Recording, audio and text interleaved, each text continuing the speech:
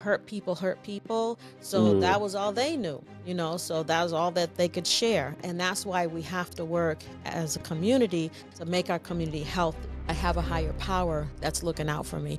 And when i look back i see the times that they did look out for me. Community is the most important. You know what i mean? Having the, the community around you rally around you you know it feels really mm-hmm. good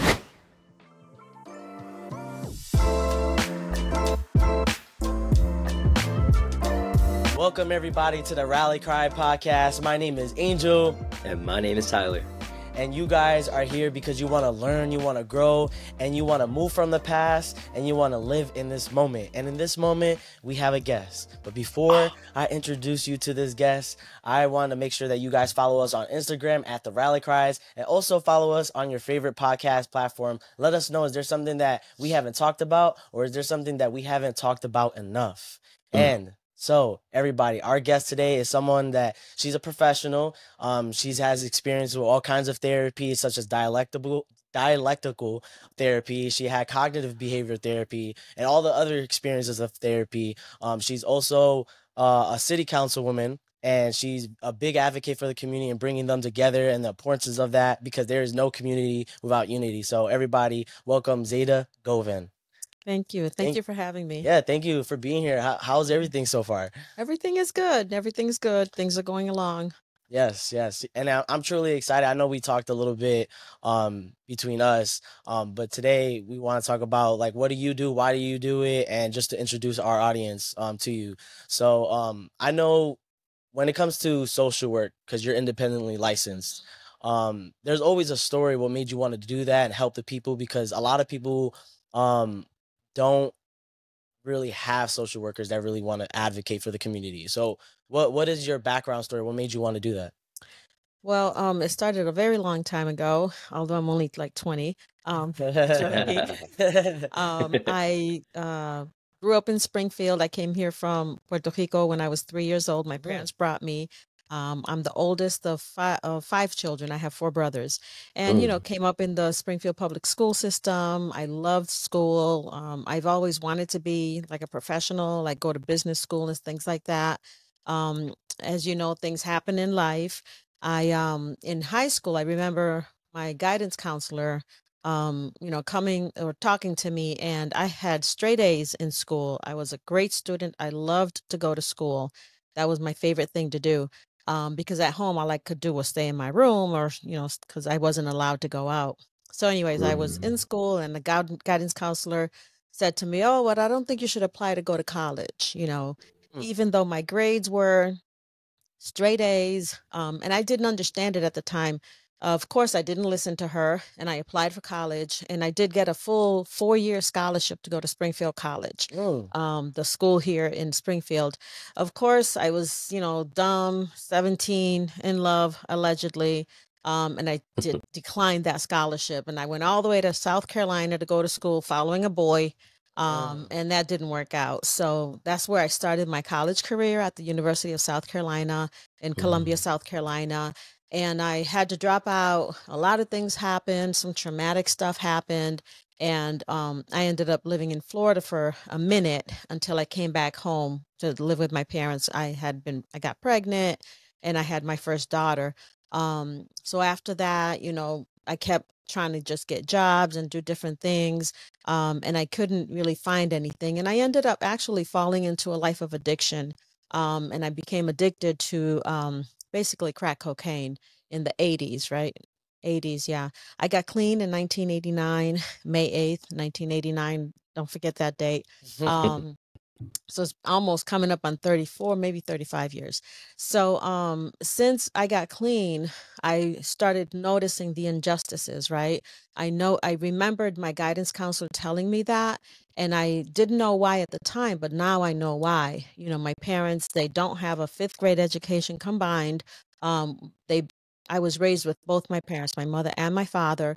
He worked, you know, all his life at Columbia Bicycle Factory, and um, they speak still today very little English, um, but they raised us, you know, and they we did good. Um, and I think that's the reason that the guidance counselor didn't think that I should go to college. Plus, I was a Puerto Rican girl from the north end of Springfield, um, you know, thinking I could do something. and of course, it was a white guidance counselor. Um, and I saw things like that. And then when I got clean, I remember being in a program. Um, because I had to get into a program. I had my two I had two children at that time and I had fought DCF in my life and everything. And I was in a program, a six month program. Um, I had been there for three months and I had charges. Of course, when you're out there, you get charges.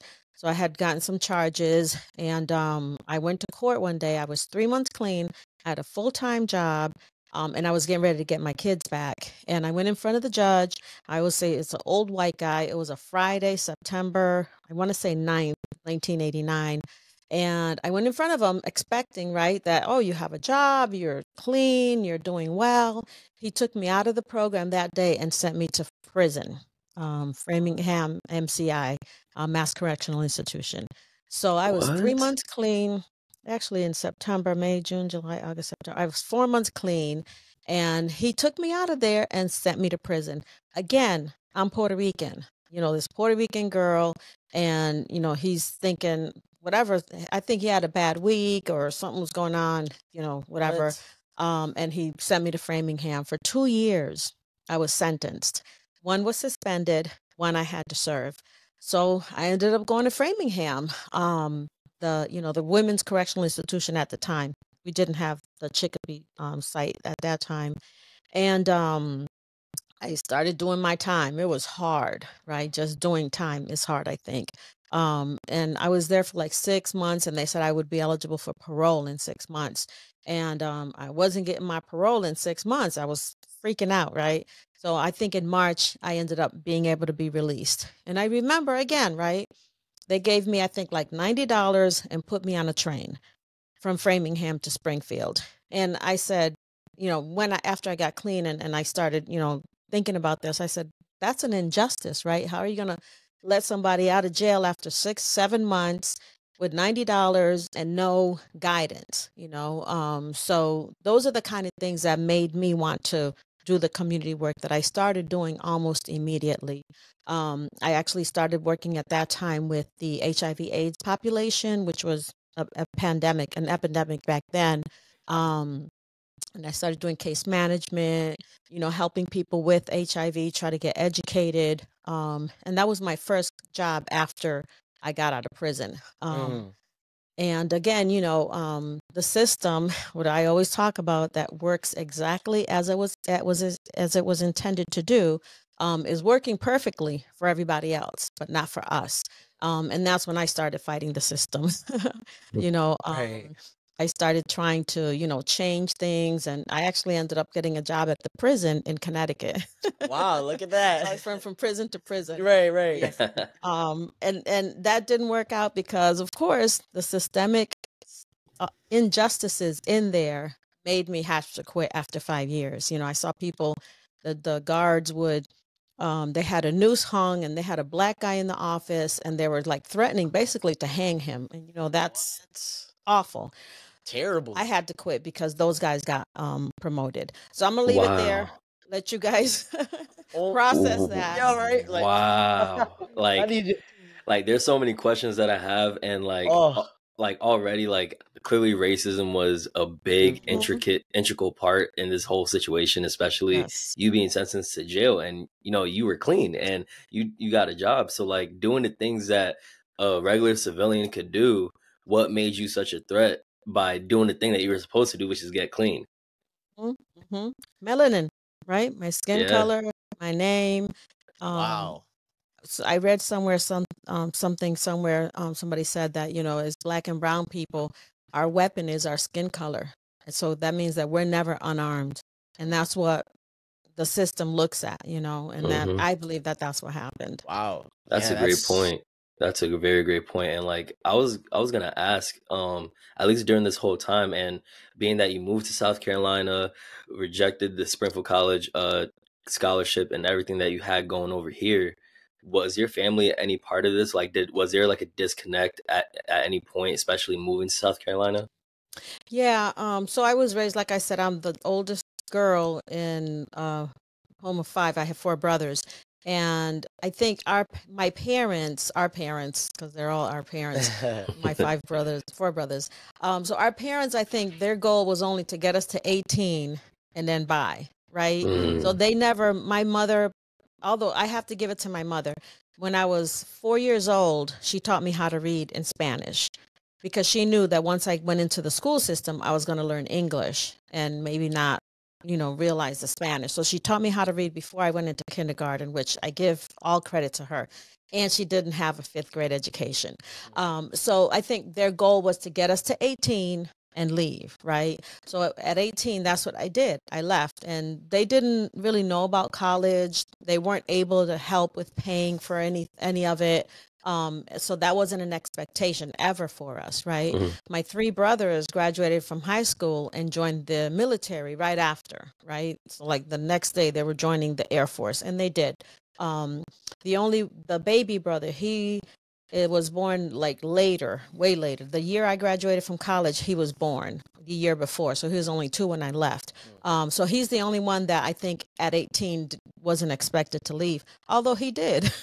and he's in California right now, actually, Oh. um, doing some tech work and stuff like that. So, yeah, so the family, it wasn't necessarily, um, plus, I have to say this uh, my mother was a Jehovah Witness and my father wasn't.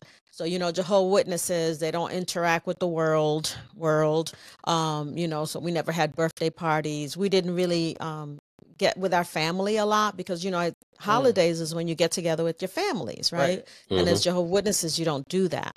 So we were disconnected a little bit from our um, extended families, my cousins and stuff like that. So we're just now, you know, seeing each other and, and trying to connect Mm. like that. So yeah, so that I think that was a disconnect there. Um, and to this day, you know, my parents live in Florida. We just all my brothers and myself went down to Florida and saw them um, in January, and that's the first time that's happened since probably we graduated from college when they saw all of us at one time. Wow. So we're still trying. Hey, you got an awesome story. Just because, like, going back to how much adversity you went through, um, you had to have a really strong mindset for that. Like a lot of resilience. And I think even around the time that we live now, people are not really good at adversity, right? I think the first question they ask themselves is like, "Oh, why me?" hmm And I wanted to ask, like, when you were going through all these adversities, what is something that kept you going? I don't know, honestly. It was, I think, because I knew that I was the only one that I could count on. You know what I mean? So Mm. I'm the only one I had. I could probably call my mother and cry to her, and but she couldn't do anything. You know, they didn't have money like that. They didn't have resources like that. So I think it was because I knew that it was just me. You know what I mean? Um, and then I, I felt bad after I got clean and, and came back to the community. I felt bad for other people who maybe were in the same situation, right? And if there was something I can do to help somebody, I think that was my mindset to try to always, you know, keep moving forward and, and helping other people see the same thing. Yeah, and that's that's amazing because I think there's a quote there's a quote that I heard and is that you know you are more than capable to help the people you once were and you was once were a person in this position. Yeah. So it's like Mhm. now that you're able to be uh, in this experience you're like hey like I know what you're going through. I might not know exactly what it is, and you, we might be a little bit different. But like, let's work together. Let's figure it out because we can't stay here forever, and I don't want you to stay here forever. Mhm. Because if it was me, I wouldn't want to be there. Right. And Mhm. I think it's amazing that you wanted to do that and trying to help people and being uh, a communist, right, or activist, right, just being actively trying to help everybody is important. And how long have you been doing that now, um, helping with the community? Probably over 30, 30 years, right? Um, like I said, I, as soon as I got out of the jail after two years clean, um, I started working with HIV AIDS um, community. Um, I went, I worked at the prison, and then after that, I realized after the prison that I, I needed a degree, right? So I tried to go to Springfield College and get that scholarship Ah. I wasn't there. Got you. so I ended up, you know, getting student loans, and I did get my bachelor's. I got my master's degree. Um, you know, and I I knew that it was only with a degree, unfortunately, that people really, you know, can listen to you. you know, uh, because we know what we know, right? You guys Mhm. probably are able to make some big changes, but nobody's really going to pay attention if you don't have a degree, which is sad, right? Right. It's so expensive to get one. Um, Mhm. So that's another fight that we might fight one day. right. Right yeah I, I would say you know there's there's so many challenges um that people deal with um like anxiety um and depression and with times like that i'm sure how and how much your anxiety levels were and how depressed you may have felt because you felt like no one was uh, in your corner um especially with family. I think um family is the biggest thing and when we're trying to make a community we're kind of trying to make that like family um, to respect one another, to love one another, to understand one another in a way where we can try to help, right? Mhm. Um, how how important is community to you um, during your times of adversity? I think community is the most important. You know what I mean? Um, like you said, having the, the the community around you rally around you. You know, it feels really Mhm. good um, to know that people are there for you. You know, and they might not be blood family, but they're like your chosen family. Um, and and I actually saw that. You know, uh, two years ago. My son unfortunately died of an of an overdose, an accidental fentanyl overdose, and that's another that. story Sorry. but the community that came around when that happened for me um, it was the only thing i think that got me through and that is continuing to get me through because i'm not through it yet. I'm not you know processing all, all of it yet. Um, but the community is what keeps you going i think you know? And when i think back to those times like when i was in florida i didn't have a community right? I didn't have that's why i had to come back home to my mother right? Um, and then after that when I got into addiction again that I didn't have the community. That's how I I was you know fell into it. When I got into addiction, I was um going to stick actually getting a degree. I was working and I had my two kids. And my neighbor um you know saw how exhausted I was basically and they she said, "Oh, take this and it'll help you have energy, cocaine, right?" And I Mm. did stupidly um, and I got addicted. But that was the community. You know what I mean? Mm. That wasn't very helpful. Instead of saying, oh, you know, let me take care of the kids while you maybe get some rest, that was their solution. Um, but again, you know, hurt people hurt people. So Mm. that was all they knew, you know, so that was all that they could share. And that's why we have to work as a community to make our community healthy. So then when I see you suffering, I'm not going to offer you a drink or offer you a drug, but I'm going to offer you a listening ear. You know what I mean? Um, maybe some resources that you might be able to take advantage of. And that's how I believe that as a community, we're all going to be okay, you know, because as long as we have each other, we have the resources that we need, we're going to be okay eventually. Right. Mhm. Yes, I love Yeah. that. Um, I would say too, a lot of times when we're trying to find help or resources, an individual might not know where to go, Mhm. and they may feel alone. What would you give it? What what kind of advice would you give someone that is trying to get in the community, but a community that's healthy for them? Like, what is something that they will also look for? Yeah, yeah. I think um it is hard to find healthy people, right? Because we're all, you know, this system has torn us down, so everybody's hurting to a degree, right? Um, so I think looking, especially say in Springfield, right? Um, go. Uh, I'm afraid to tell you to go to your neighborhood council because not all of them are healthy. um, but that might be somewhere to start, right? Um, we have a 211 system in Massachusetts, and I think it's world uh, nationwide, uh, where you could call 211, and if you need food, right, they'll give you a list of food pantries. If you need, um, I don't know, mental health care, they'll give you some resources that you can use, you know. So using those um, tools that we have access to, I think would be helpful to tell somebody, right? If you know a therapist, you know, oh, go to Listening with Love, they can help you there, right? Or, you know, go to the city council or go to the state rep. You know, if you have a, a perfect example, of course, you know, the pandemic we went through, a lot of people became unemployed and a lot of people had to go on unemployment. And Mhm. unemployment in Massachusetts, for some reason, doesn't answer the phone. They don't have an email address you could reach out to. There's nothing, right? So you have to call the state rep to get anything done, you know, but nobody knows that. You know what I mean? So Mm. telling someone, well, call your state rep, call the, you know, chief of staff. They can help you and they will help you, you Mm. know, but knowing that, you know, and that's one of my things is trying to get the information out there. Um, like just most recently on the city council, we've been going on tours telling people about a circuit breaker program, which is um, for seniors over 65 years of age that could get help for their property taxes. You know, a lot of people are struggling um, uh, or telling people about some different programs that the city has to help them with their property taxes. If people don't know about them, they're not going to be able to use them, you know. So having access to information is important. So that's why what you guys are doing is excellent because you're spreading the word. I don't understand it totally, but you're spreading the word and you're letting people know about different things, and that's vital. That's important. Yeah, it's Yeah, definitely. I. I appreciate that. And like, you know, thank you for the recognition. And something I was gonna say, you know, like at least when it comes to adversity and especially I didn't even know myself uh that reaching out to the city council would help with something like unemployment because when everybody was getting unemployment during COVID, I wasn't. And I had to wait for an appeal because even though I was applying to jobs and registering that in the system, they still weren't allowing me to get any any feedback as far as like am I eligible or not. And it wasn't until we were done with COVID and probably on the third or fourth variant of it that I finally got to go through with that meeting. And I was already at work. I was already going to school again. So it was like all this time it took that long just to get uh get a conversation with somebody. And it was like, where was it back then?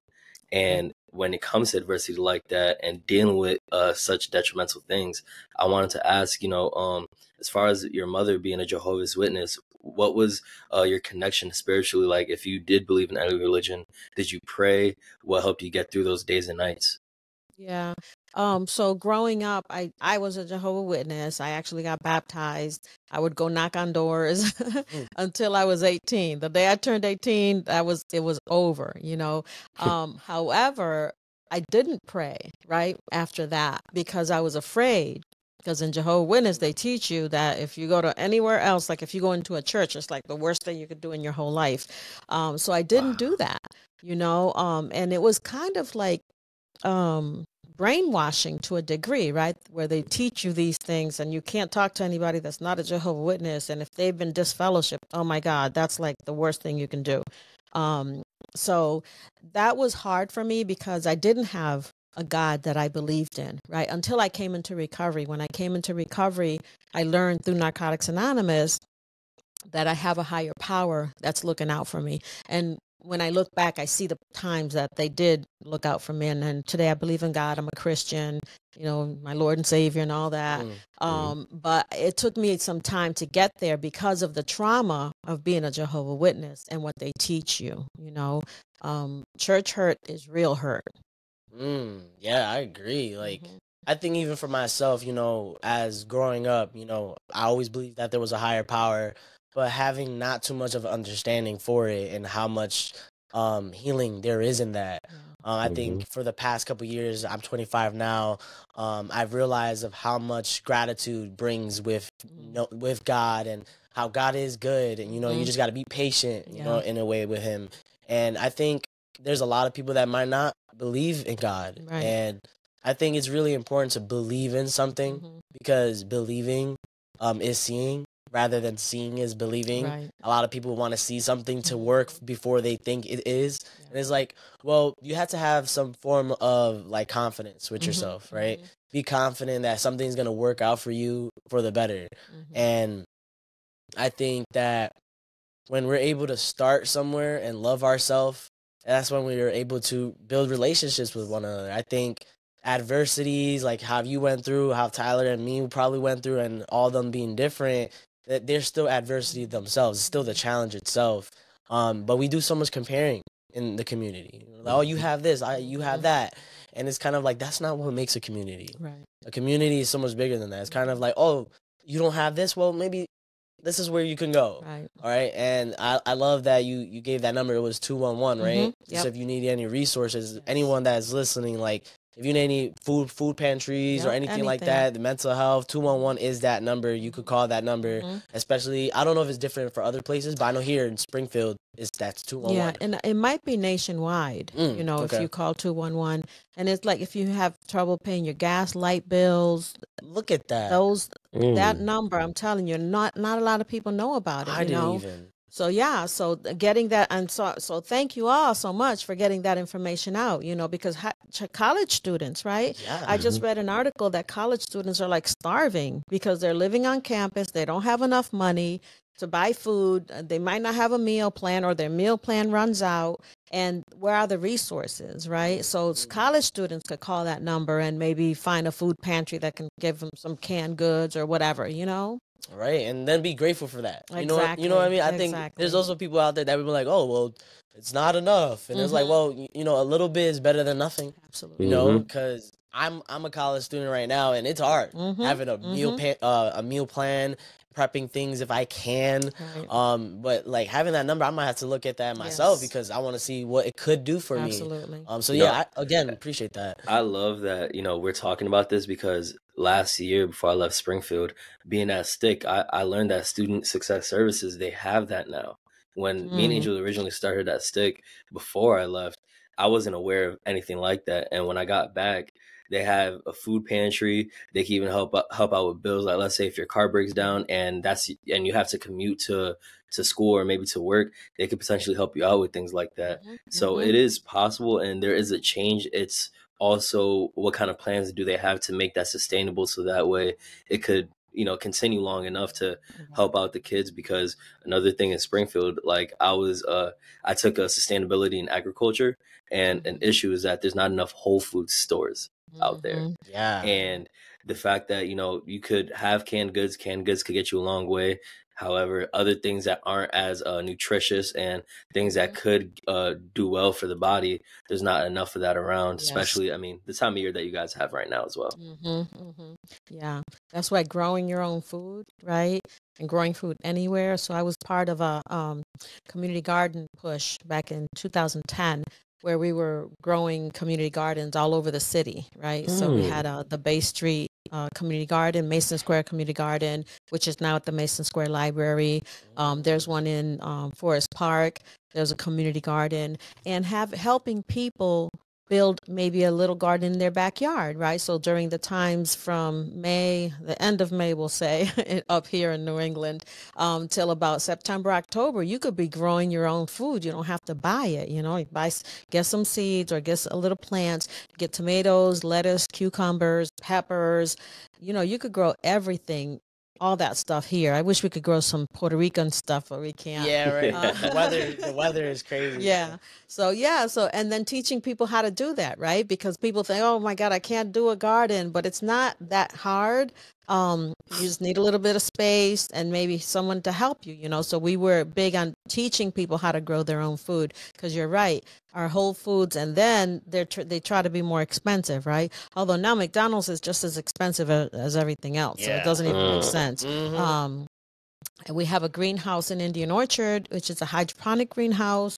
It's called Wellspring Harvest, and they grow lettuce uh, from with water, not dirt, um, which is really cool. And it's a whole greenhouse. You guys got to go see it if you get a chance. yeah i would I'll love give to you a tour of it. I'm on the board. oh um, even better yeah, yeah. Nice. But, you know, things like that, again, people don't know about it, right? And how are we going to get the word out? That's, I'm big on getting um, people to get information and to work together. I'm big on collaboration. So I did just look up 211.org actually. So it is nationwide. Wow, look at that. That's wow. that's beautiful, and like you, you know, another thing too, uh, a toxic culture that's like in today's age is uh, gatekeeping. So Mhm. people Oh, could God. find good stuff like that, but then they're too stubborn or selfish to want to like reveal it to anybody else because then everybody else is gonna go, and they want to feel some sense of uh, Yeah. entitlement or maybe a possessiveness towards that Mhm. finding this gold mine and Right. you know it's not fair and that's Mhm. why we need to be able to commute together to make the community and I, I also believe that at, as long as like we keep that helpful eye out for each other and we continue to produce that more and more things can get easier so that way mm-hmm. adversities that you faced won't happen to people nowadays, which I'm sure, you know, it's probably less likely because crack cocaine isn't as big as much as it Mhm. was, but now we have other drugs and other Yes. things, substances that are being put out to the streets. So it's like how are 20 year olds, 30 year olds, 40 year olds getting the help that they need and having enough shelters to give them the support and help that they need as well. Absolutely. Yeah, honestly, and you know, I I know that we were talking before we uh, we went air. Um, Zaida does have somewhere that she has to be, so we're gonna um start with the rally for qui- cry questions. Mm, oh, Um, why? Cry, right? rally Oh, for cry. cry. Ah, rally for cry. So we have four questions, right? And uh, you could answer it to a one word minimum to a sentence maximum. Um, it goes a little over. That's okay. Um, so to my first question, um, what is the best advice you ever received? Hmm. I don't know. I Mm. don't know. Or it could be what is the advice you give yourself that was the best? I think being okay with not knowing, right? Mm, And I'll leave it there. I love that. Being okay with not knowing. Simple. And then so I don't know is is the best advice I've ever gotten. That's deep. You gotta really it, think on that. it, it leaves you room to be curious. It leaves you room Yeah. to wander, and it leaves you room to Now learn can from the learn. mistakes. Exactly. Exactly. Mm, Mhm. Wow. I love that one. I love that because I could resent, I could resonate with that. I'd be like, not knowing, I'm ah, I need to know. And you don't have to freak out. It's okay to Mhm. not know. Yeah, it's true. Um, okay. So the second question would be, what is the best advice? I mean, no, I'm sorry. What is the worst advice you ever received? That I did not take was don't go to college. Mm, don't go to college. Yes.